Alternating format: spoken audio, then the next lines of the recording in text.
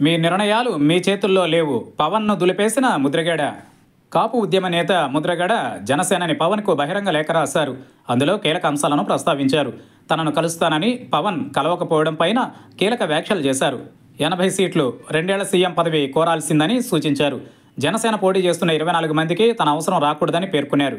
పవన్ తనను కలవడానికి ఇతరుల అనుమతి అవసరం అనుకుంటా అని ముద్రగడ లేఖలో పేర్కొన్నారు. ఇప్పటి వరకు పొత్తులు సీట్లపైన హరిరామ జోగయ్య జనసేనాని పవన్కు వరుస లేఖలు రాశారు. ఇప్పుడు ముద్రగడ రాసిన లేఖలో పవన్ తనను కలుస్తానని సమాచారం పంపి కలవకపోవడంపైన స్పందించారు. రెండు వేల పంతొమ్మిది ఎన్నికల సమయంలోనూ పవన్ తనను కలుస్తానని చెప్పారని గుర్తు చేశారు. తాజాగా అయోధ్య రామాలయం ప్రారంభం తరువాత కలుస్తానని చెప్పారని వెల్లడించారు. అన్ని వర్గాలకు న్యాయం చేసేందుకు ఎటువంటి ప్రతిఫలం ఆశించకుండా కలిసి వెళ్ళాలని తాను నాడు నిర్ణయించుకున్నానని వివరించారు. యావత్ జాతి ఆకాంక్షల మేరకు గతం మరచి కలిసి రావాలని భావించిన పవన్ తనకు అవకాశం ఇవ్వలేదన్నారు.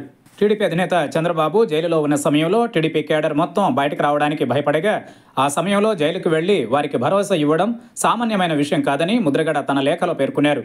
ఆ తరువాతి కాలంలో వారికి పరపతి పెరగడానికి పవన్ కారణమని విశ్లేషించారు.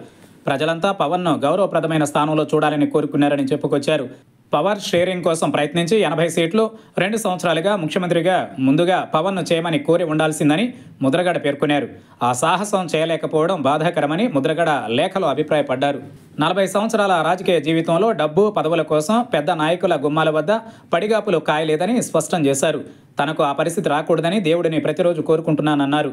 పవన్ లేక తనకు గ్లామర్ లేకపోవడంతో తాను లాస్ట్ గ్రేడ్ వ్యక్తిగా గుర్తింపు వల్ల వస్తానని చెప్పి రాలేకపోయారని పేర్కొన్నారు. పవన్ నిర్ణయాలు ఆయన చేతిలో ఉండవని ఎన్నో చోట్ల అనుమతులు తీసుకోవాల్సి ఉంటుందని ముద్రగడ ఎద్దేవా చేశారు. జనసేన పార్టీ పోటీ చేసి ఇరవై నాలుగు స్థానాలలో తన అవసరం రాదని రాకూడదని భగవంతుడిని ప్రార్థిస్తున్నట్లు పవన్ కళ్యాణ్కు రాసిన లేఖలో స్పష్టం చేసిన ముద్రగడ ఆల్ ది బెస్ట్ చెప్పుకొచ్చారు.